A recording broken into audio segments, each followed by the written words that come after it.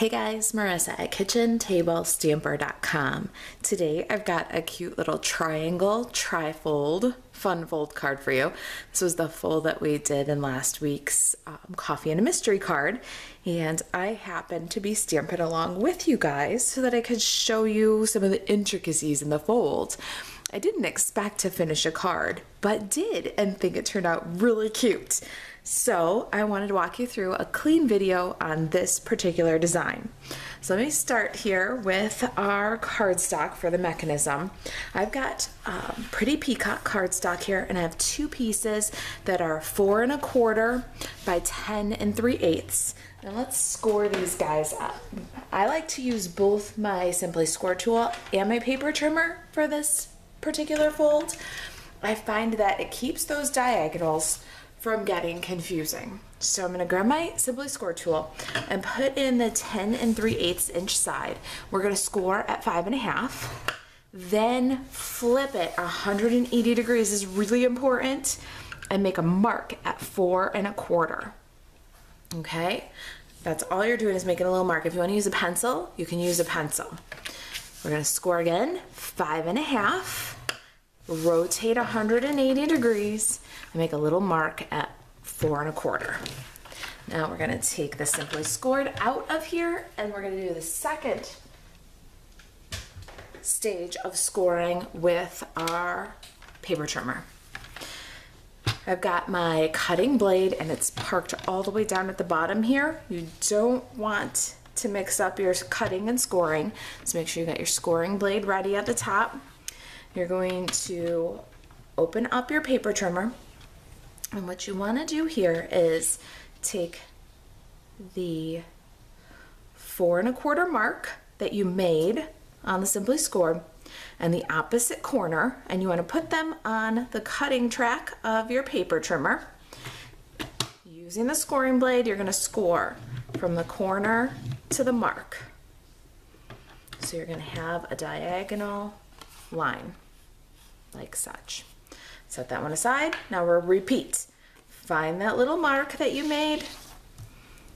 And then you want to line that up on the cutting track. Line up the opposite corner. And when you've got them both in line on the track, score from the point to the mark.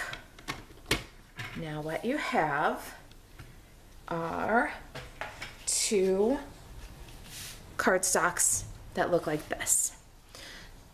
You've got your five and a half inch score, your four and a quarter inch mark, and to the opposite corner. Good, now let's work these with a bone folder. Going to fold the five and a half, and then we're gonna fold the diagonal. And here you wanna kind of budge up the sides, you got a nice straight line, and then work that crease with your bone folder. Same thing with this guy. Really square everything up here while you've got the opportunity while things are still kind of soft. Now, what you're looking for here is for your two pieces to fit together, but you don't want this one to have the point off to the right. So if you do, like I do, then you folded it inside out. So all you have to do is swing that around and reverse your folds on both pieces. Reverse your folds. So we've just reversed our folds. Now look at this. When we slide these guys together, we've got this corner in our left hand. That's really important. All right, so now that we've got our corner our upward flap corner in the left hand, we can go ahead and adhere these two together. What you'll do is add adhesive. I like a nice strong one here. You can use your tear and tape if you prefer dry, but I love the multi-purpose liquid glue. You're gonna adhere the back of this panel, or the back of this half of your card to the inside, to the front of this card.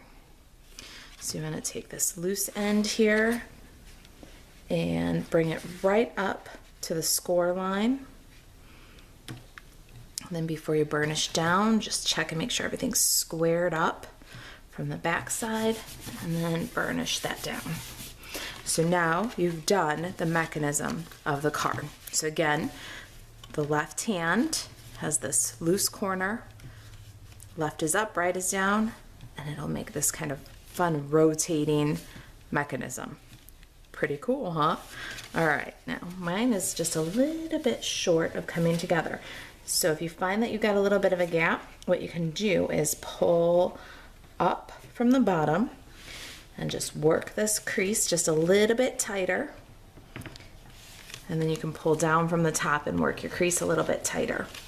It's um, it is a slightly adjustable at this point. See, so I'm just pulling up and working that crease a little bit tighter. And I'll do the same thing. Pull up from this side. Really square these guys up before you do any decorating. This is where you can really square this up using your bone folder. All right, I'm very happy with that. So now what we're gonna do next is address our designer series paper. So my designer series paper has a definite directional pattern. I don't want my little banners going um, vertically. I want them going horizontally. So you want to keep that in mind. This is a four by four piece of Dinoroar Designer Series paper. Uh, this is on sale right now. It's on the retirement list. It's while supplies last for $6.90. Love this paper. Pick some up if you don't have it. So we've got our directional paper the way we want it. It's oriented right for us. You're gonna cut from the upper right corner to the bottom left corner. Just pop it in on your paper trimmer, corner to corner. Park that scoring blade and cut. Now you've got the proper pieces for your card the way it opens. So let's bring that back in here so I can show you. So we cut it from the upper right to the lower left. We can go ahead and adhere those to our card. I'm gonna use my multi-purpose liquid glue again and just get those glued down. You've made a four and a quarter square with these two triangles. So the four and a half inch or the four inch designer series paper will fit nested right in there. You want a small border on the top and left and on the bottom and right. All the way up against the diagonal fold though. All right. Now it's time for a little stamping. I'm gonna bring in some Whisper White cardstock here, Stampin' Pierce mat, and the retiring lovely lipstick Stampin' Pad. If you don't have your 2018, 2020 in colors, now's the time to get them. Um, so far as of this morning, but it changes and it changes quickly.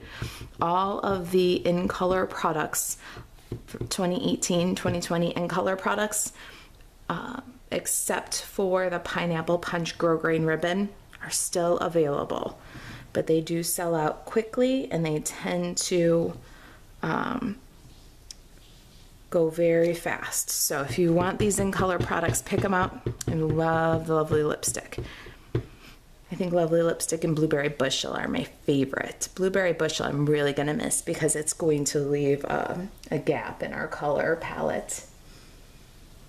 I'm stamping my pterodactyls twice.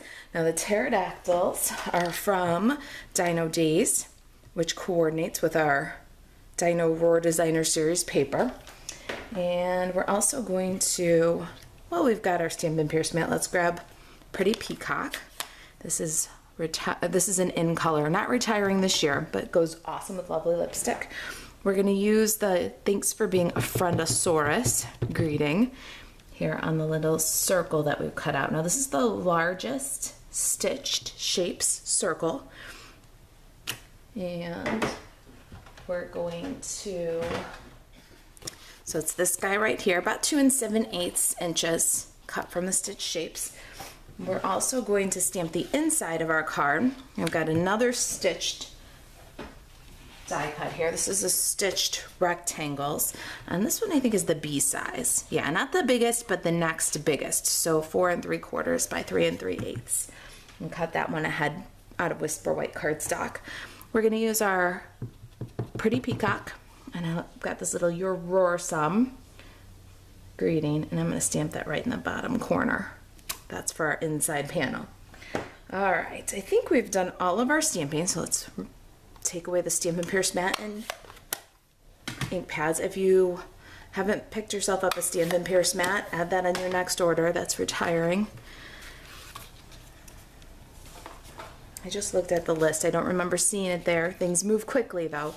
Let's do a little bit of adhesive. I like to put the little parts together before I lose anything.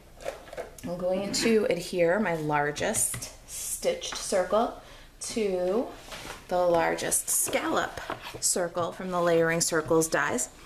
Cut that 3 and 1 16th inch scallop from Lovely Lipstick cardstock. Let's go ahead and layer these two up. And then your roar some. Now here's the fun part. Your card starts out portrait, but when you open it, it ends up landscape. So let's glue your roar some to the inside of our card, but we've got to go landscape on the inside and portrait on the outside. I've cut some more lovely lipstick elements ahead of time. I've got some little hearts here. These little dudes are from the, oh, look, there's one inside the card. I'm looking for a little bit bigger one too. Find all of them and show you. All right, so these are from the Be Mine Stitch dies. And I cut a bunch of little lovely lipstick hearts using this die that's like um, a little connected spray of hearts. But I also cut one of these little primitive heart shapes. So that's all out of lovely lipstick and I did that ahead of time. We're gonna use some of these little hearts to decorate the inside. I think I'm to use this little tiniest one and just pop a little lovely lipstick heart underneath my greeting a multi-purpose liquid glue. Just glue that right in there. There's our inside. I'm gonna put everything aside for just a minute. We're gonna die cut our little pterodactyls. Got my big shot, my pterodactyls. It's gonna take two passes through the machine pterodactyl stamp from Dino Days. Coordinates with the Dino Dies. And we're gonna cut that little dude right out. Line it up so you don't see any white around the edges. I like to tack it down, run it through. We're gonna cut out two little guys here.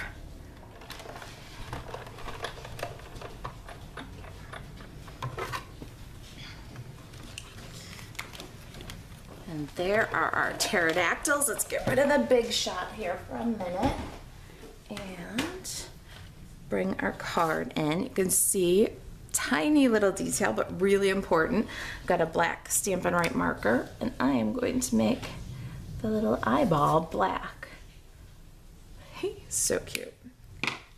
You've seen my little lovely lipstick heart. I've got another strip of the Dino Days Designer Series paper here, or Dinoroar Designer Series paper. I'm gonna go ahead and dovetail the ends of that. I'm gonna use my Tailored Tag Punch. This little piece is one by four, and we're just gonna take the very end off of that, making a little dovetail. Both sides I've done the die cutting on our next piece. I've got an old olive, and this is from the Stitched Nested Labels dies. It's the second largest, two and three eighths by four and three eighths. Already cut. And we're gonna layer up everybody on top of this label. So first thing I'm gonna do is curl the ends of my paper just a little bit, and I'm gonna adhere that with some multi-purpose liquid glue right across the center of my label.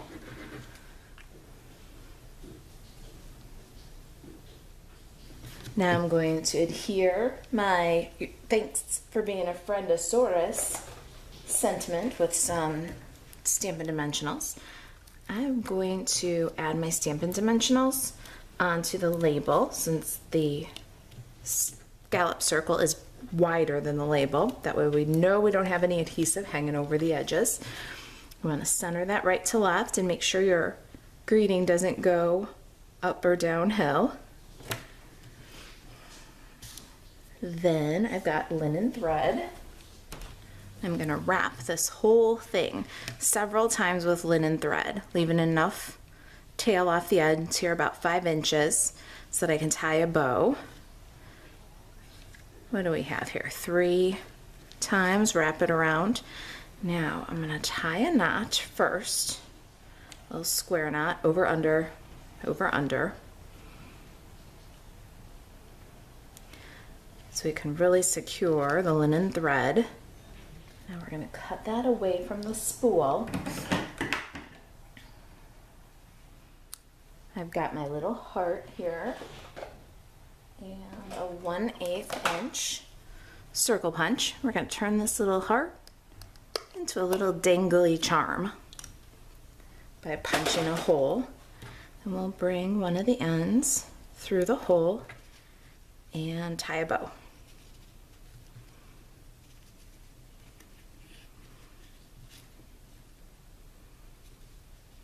Isn't that a cute little detail? Finesse. Trim the tails.